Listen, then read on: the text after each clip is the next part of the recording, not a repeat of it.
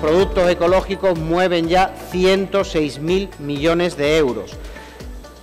Dato importante, pero lo más importante también es el dato de crecimiento. Hablamos de un crecimiento del 9,27%. Es uno de los mayores crecimientos que se han registrado en los últimos años, con lo cual es un elemento importante a tener en cuenta.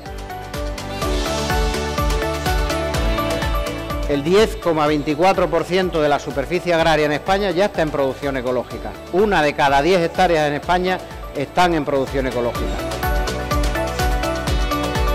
Yo auguro una década en la cual vamos a seguir viendo esos datos positivos, vamos a seguir viendo eh, esos crecimientos y vamos a seguir eh, apoyándolo desde las administraciones, porque evidentemente también parte de ese éxito es el compromiso decidido por parte de las administraciones regionales, nacionales y europeas en favor de este tipo de producción.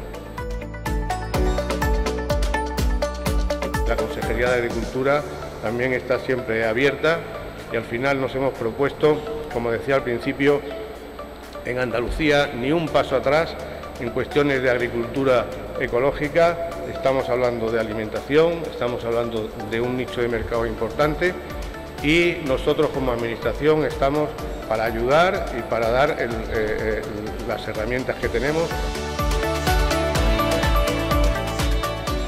Es el momento de la producción ecológica.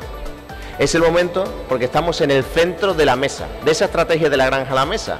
El centro de la mesa lo ocupa la producción ecológica. Y de Ecovalia vamos a seguir trabajando para que ello siga cumpliéndose.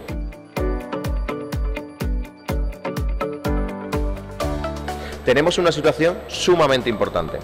Tenemos que el reto para el futuro pasa por producción ecológica. Es un sistema de producción agronómicamente productivo, económicamente rentable y climáticamente necesario.